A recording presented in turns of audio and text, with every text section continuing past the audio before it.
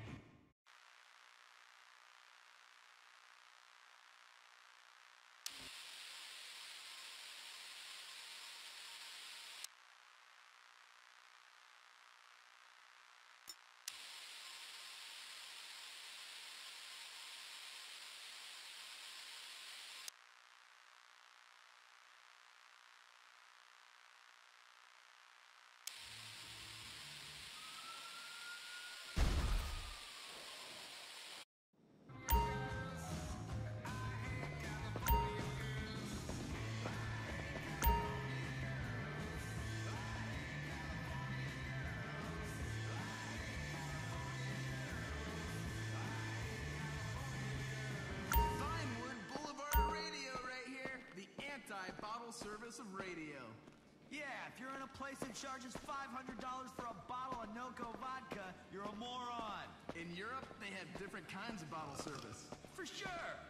When you play at a music festival, they pee in beer bottles and they throw it at you. That's Europe for you.